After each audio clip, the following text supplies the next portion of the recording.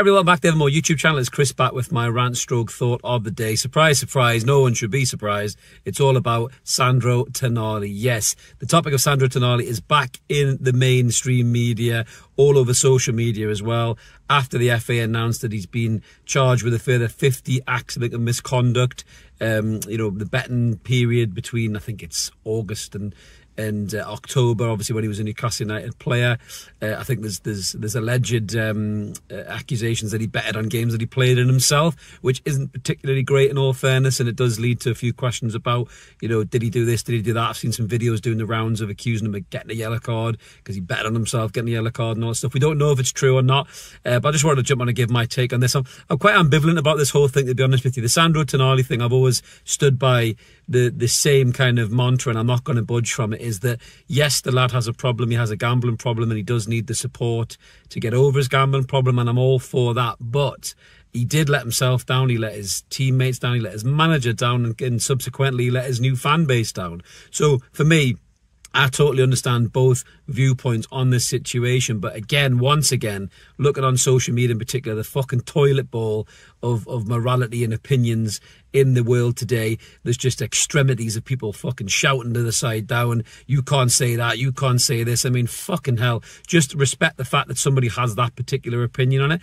and move on. You know, if you want to support Sandro Tonali and pretend that you're a you're an amateur psychiatrist, then fucking crack on and do it. But if somebody's not very happy that a new fifty million pound midfielder was betting on games that he knows he shouldn't have done, and he's been suspended for ten months about it, and that fan has to, you know, be won back in terms of Sandro Tonali's performances, then fucking so be it as well. That's the situation with this. It's one of them topical conversation points that, you know, splits the fan base right down the middle. There seems to be way more of these now than ever before. I think it's it's probably more a society thing that people have just lost the power of debate and understanding that somebody has a different opinion on something. Doesn't matter whether it's Dan Burn at left back, Sean Longstaff in midfield, um, Eddie Howe's tactics or Sandro Tonali's ban. You know, we seem to be always having this two tribes at war opinion in the fan base, and it's fucking exhausting, guys. It really, really is. Just respect the fact that other people have a take on something. Listen to it. You don't have to agree with it. You can agree to disagree, and you can both part ways and and be happy with the fact that you still have your opinion. There's no need to abuse people and give people shit for it. You know that's what we always say on the channel.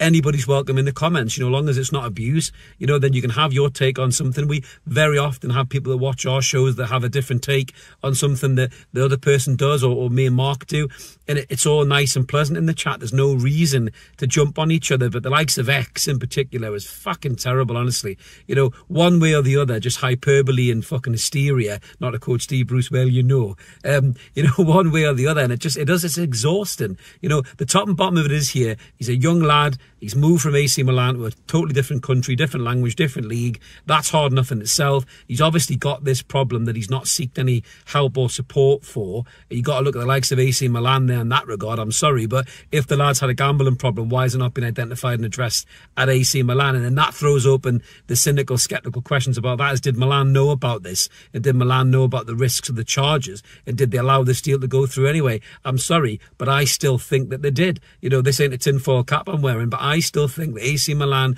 knew the potential of this coming over the hill, and they still let the transfer go through anyway. I think Tonali's agent probably knew it, and the player himself potentially knew it too. And that, as a fan, makes you entitled to say that's not right. You know, he might have got away with it. He might have played brilliantly this season and, and been, you know, in the team of the year and up for PFA Young Player of the Year, as far as we know. But that didn't happen because he did get caught and he's been banned horrendously long, you know, and that's cost him in his career. You know, it's cost his international career as well as his club career. But going back to the situation of the new charges, it looks very much like the FA are just going to put this in as part of the ban that he's already serving, which ends, I think, on the 27th of August.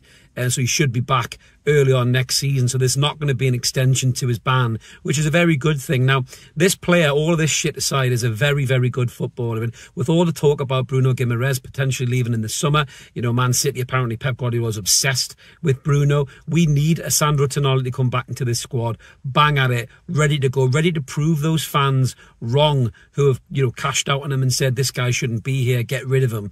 You know, that's what Sandro Tonali's mission is right now as a football player is to turn those opinions around, you know. And I get people saying they want to support him. I still think it's fucking weird people singing the chant of a player who's banned for 10 months. I really don't get it. You know, had it been someone like Eric Cantona or, or maybe he's even Luis Suarez who'd been at the club for, for a while, you know, to establish themselves as a mainstay of that football club, I kind of get that from those fan bases. But Tonali only been here five minutes. Yes, he showed glimpses of what he could do, but I think it's weird singing the chant. But like I say, each to their own. If you want to sing it, you sing it. If you don't want to sing it, you don't fucking sing it. Everyone's entitled to their particular opinion on this situation, but it's a very, very volatile, topical conversation piece within the fan base right now. We wanted to jump on and just give you my take on it. Again, my take on it is that Tonali needs help. Definitely, he's got a problem, and I hope he's getting that help. But he made a mistake, and he has to pay for his mistake. And he has to understand that when you make mistakes in life, sometimes the consequences are people struggle to forgive you. Some people may never forgive you at all,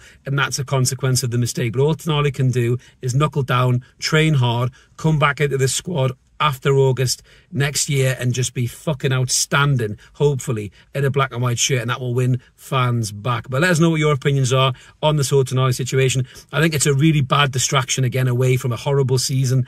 Um, where everything just seems to be going tits up. You know, I don't know what's gone on. You know, injury problems, players scrapping uh, all sorts of shit. You know, you can list them all off. When this season ends, we will definitely all unpack this as fans, as content creators, and just figure out what in the name of fuck happened to this season. You know, the league finish obviously is still something that's very, very important, and they're up for grabs. You know, the lads need to put it in in the last 10 games, starting with West Ham this Saturday to try and get a European position because that's massively vital for bringing in players in the summer. So we'll be back to cover that as well, guys. Thanks for watching. Click the like button, subscribe if you can. We're close to 7,000 subs. Have a cracking day wherever you are, and we'll see you later. Cheers.